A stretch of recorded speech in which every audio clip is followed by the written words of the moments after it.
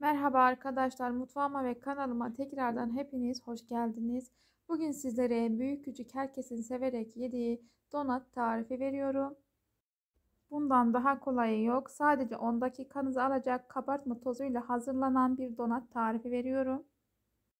Öncelikle uygun bir yoğurma kabımın içerisine 1,5 su bardağı ılık su, 1 yemek kaşığı tepeleme dolusu margarin, 1 adet yumurta, 3 yemek kaşığı da toz şekerimi ilave ettikten sonra margarinimi elimle ezerek tüm malzemelerimi homojen bir kıvama getiriyorum.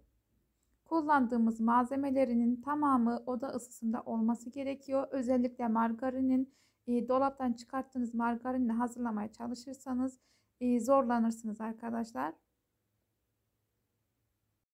Tüm malzemelerimi güzelce karıştırdıktan sonra önceden elemiş olduğum 4,5 su bardağı unu yavaş yavaş ilave ederek hamurumu yoğurma işlemine başlıyorum. Biraz unumdan aldıktan sonra üzerine bir paket kabartma tozu, bir paket de şekerli vanilin ekledim. Unumu yavaş yavaş ilave ederek hamurumu yoğurdum. Kıvamı bu şekilde olması gerekiyor. Kulak memesi yumuşaklığında bir hamur hazırlıyoruz. Unumuzu yavaş yavaş ve kontrollü bir şekilde ekleyelim arkadaşlar. Ununuzun markasına ve kalitesine göre un ölçüsü değişiklik gösterebilir. Hazırlamış olduğum hamuru 5 dakika dinlendiriyorum. 5 dakika beklettikten sonra hemen tezgahımı unluyorum ve hamurumu açmaya başlıyorum. Yapışmasın diye tezgahımı biraz unladıktan sonra hamurumu merdanem ile hafif hafif bastırarak açıyorum.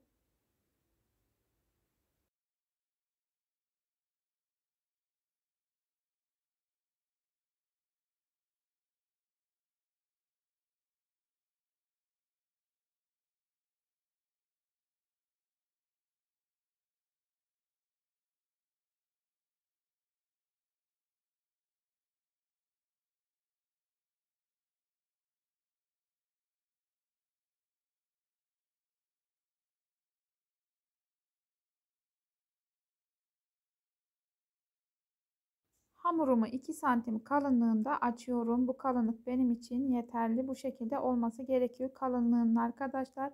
Çok ince yapmayın. Donatlarınız çok ince görünür. Hemen açmış olduğum hamuru meşrubat bardağım ile kesiyorum.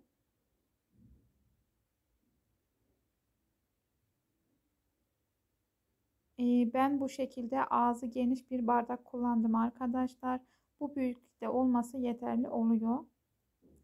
Daha sonra orta kısmını da e, bu şekilde bir aparatım ile kesiyorum. Krem şanti sıkacağı ile e, kesiyorum orta kısmını.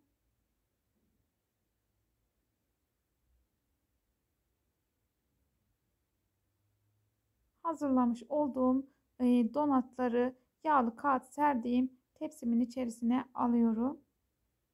Yapışmaması için yağlı kağıt serdim tepsimin içerisine biraz bekleteceğim için.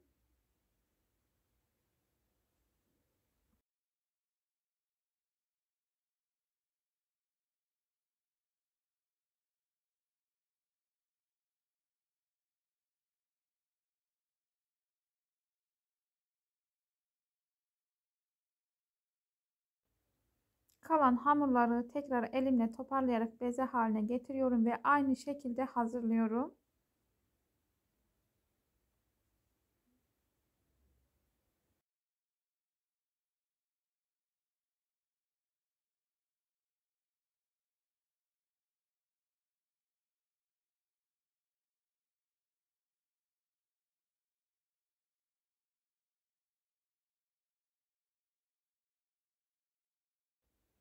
Donatlarımın tamamını hazırladım. Artık kızartma işlemine geçebiliriz.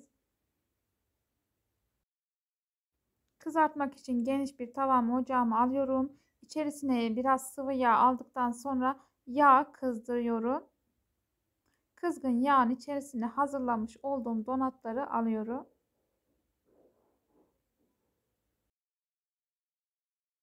Yağın içerisine aldıktan sonra 2-3 saniye bekliyorum ve hemen çeviriyorum. E, bu şekilde fazla bekletirseniz üzerleri kabarır ve düzgün olmaz arkadaşlar. E, içeri, yağın içerisine aldıktan sonra 2-3 saniye sonra hemen çevirmemiz gerekiyor. Bu şekilde hemen çevirdiğimizde eşit bir şekilde kabarıyor.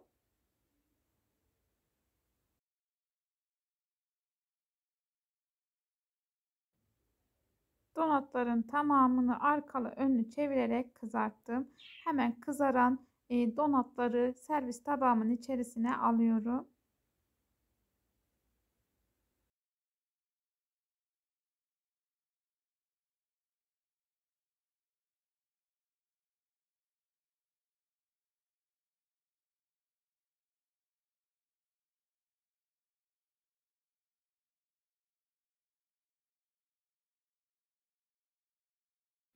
Donatlarımın tamamını kızarttım.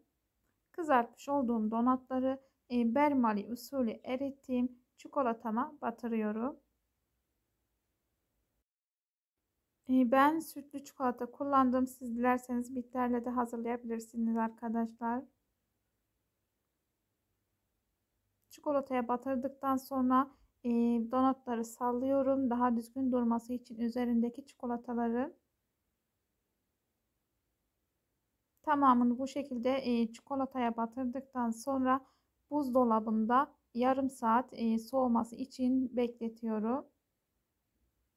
Çikolataların tamamen donması gerekiyor üzerindeki.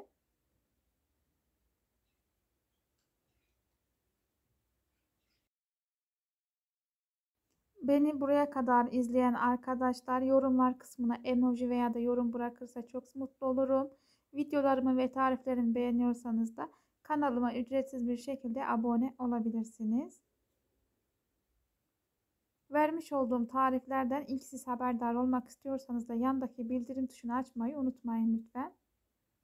Donatlarımın tamamını çikolataya batırdıktan sonra birazının üzerini e, ince kıyılmış fındık ile süslüyorum ben. Süsleme kısmı e, size kalmış. Dilediğiniz şekilde üzerlerini süsleyebilirsiniz. Üzerine fındık serptikten sonra da buzdolabına kaldırıyorum. Ve yarım saat çikolataların donmasını bekliyorum.